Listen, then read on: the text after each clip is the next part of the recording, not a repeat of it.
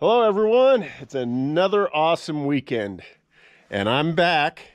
I've got a bunch of uh, supplies and parts to get this Michigan loader up and running again. So I guess I've got a couple things I'm going to do. I'm just going to get into it really quick. Not going to talk too much. I've got like a mechanical oil pressure gauge I want to put on the back of the engine. I've got to rewire this because I didn't purchase any uh, 8Ds prices are much more expensive than they were before, uh, like $350. And they're the only 8Ds, uh, except for maybe the other air compressor that I would use. But since I use 31s on almost everything, I'm just going to convert it over and put uh, 31s in place. I'll probably have to stick about four in. Looking at it, six would probably equal all the 8Ds, but I think four should be enough. So I'm going to get in there, do a bunch of cleaning up of the uh, cables. I might have to make some new ends, get some other connections ready, but uh, I'm going to get to it now. And this is the uh, back of the cab. Inside there's where the starter button switch. And this switch just uh, would always burn out. It was no good. I went and found this 60 amp. I really do hope it's 60 amp. If it's 60 amp, I don't have to put the other uh, solenoid relay in. Well, I'm going to try it out. And, uh, but I got like one end redone. But the other wire that goes has become very short. So I'm going to extend it with some yellow wire so I can work on it, move things in and out, and not be fighting the lengths of the wire. So we get that, we'll get the push button in, and then I'll go back down to the battery box and start working on that because I have to carry some batteries over. Probably have to make some uh, uh, cable pieces and stuff for that. So just a lot of little things to do. All right, got push button switch in. Now this is the key switch. I hope it works. If it doesn't, I may have to replace that. So I've got the, that button in there. Now I've been working on the battery uh, connectors. I've uh, taken off the the studded type ends. I crimped on and then uh, soldered in uh, new ends on some of them. I still got to make some more, but uh, I do have some heavy duty short pieces that are up at the top uh, by the fortress. So I think I'm going to take a ride to the top because I haven't been there for a little while where the fortress is and grab some uh, uh, battery cables. So I know there's some in uh, one of the little buildings there, but uh, luckily they weren't in the main shop. So it's going to head up there and grab some.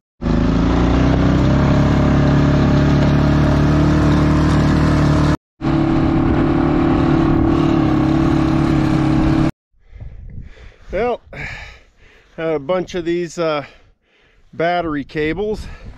I was in the old uh, little mining building right there, just with the all the mining equipment, as you can see here. So now that I got, I only need these two. I've got the ends I can uh, use to uh, uh, uh, put ends on two of the other cables. That should be good enough. I mean, there should be enough here to uh, hopefully get the Michigan uh, running. Uh, taking a quick look. There's the fortress over there on the uh, south side.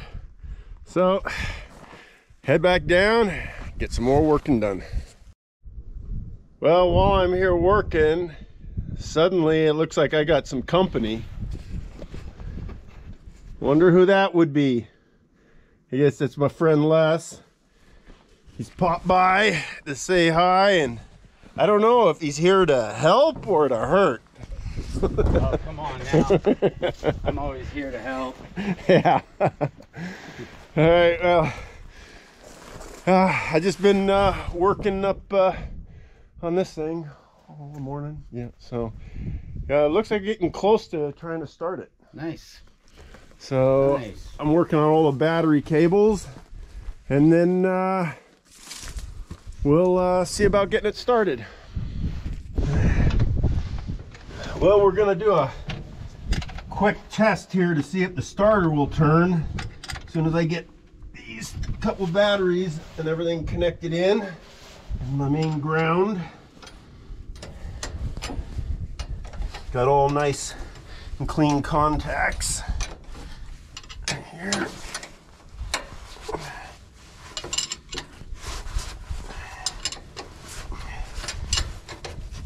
If it turns the engine well, then I think I'll probably be happy with just two batteries. But I still probably have to make me a new battery box for this.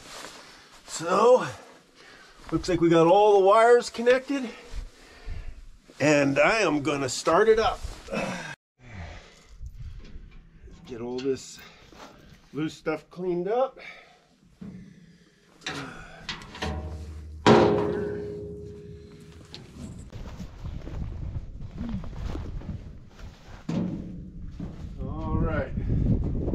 I want to do, let's just see if it'll even bounce. Cross your fingers.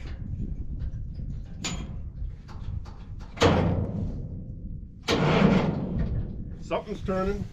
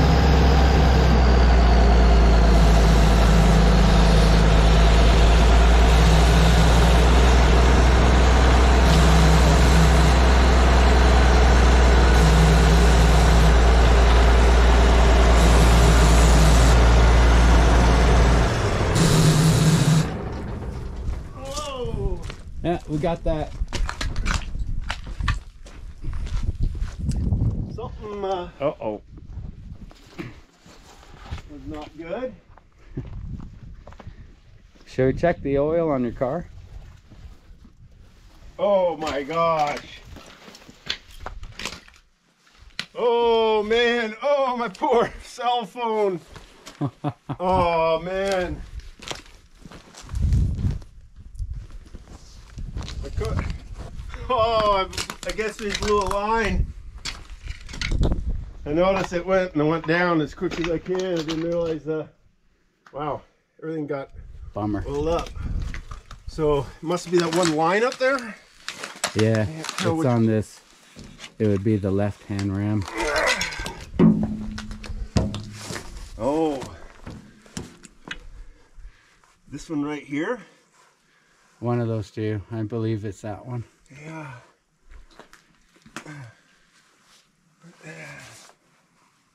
Yeah, it's that one. It's a big one.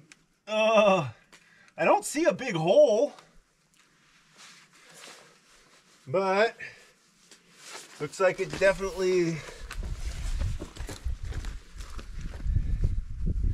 Well, it was running and then it stopped. well, not stopped running, but we blew a uh, hydraulic line. The motor runs. Yeah. And uh, my car just got lubricated. Holy moly. All right, well, Turtle wax.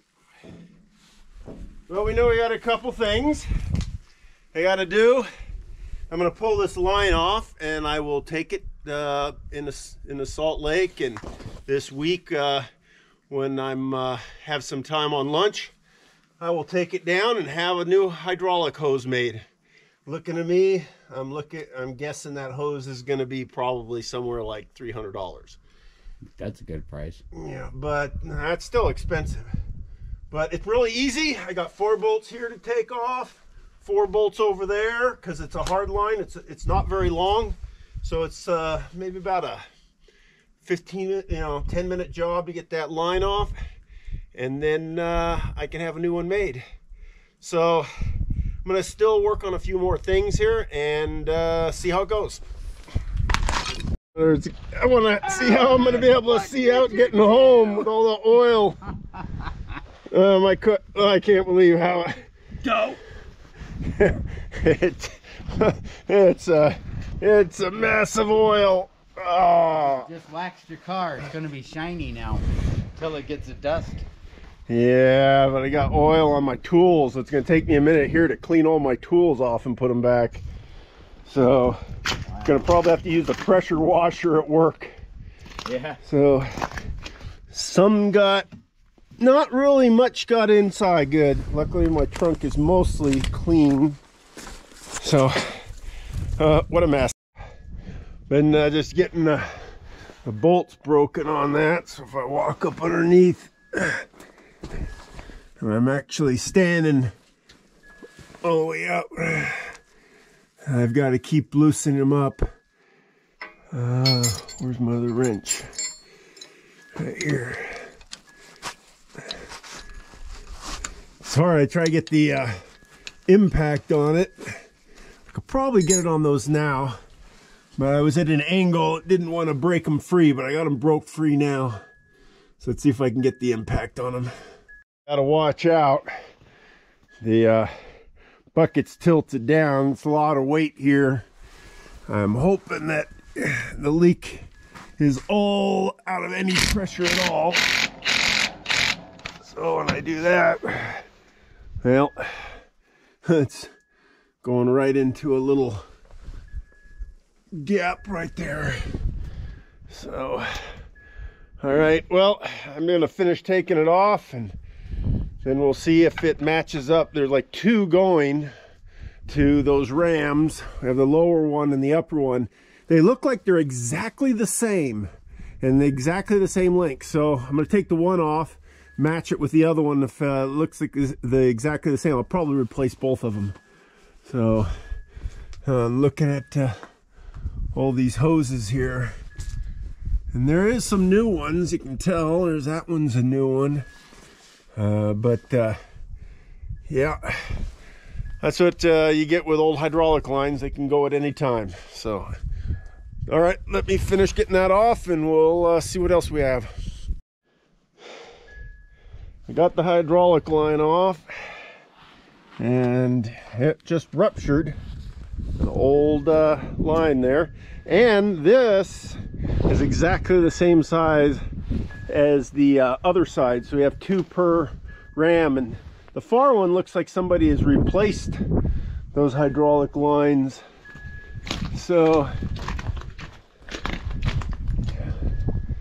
they look like they're made it looks like two different uh, manufacturers made it so this seems to be just fine so I'm gonna take this and uh, see how much they want for one and if it's not too much I'll buy two and then replace both these on this side so I've got that uh, notice I'm gonna have to do some uh, cleaning on the ram rods.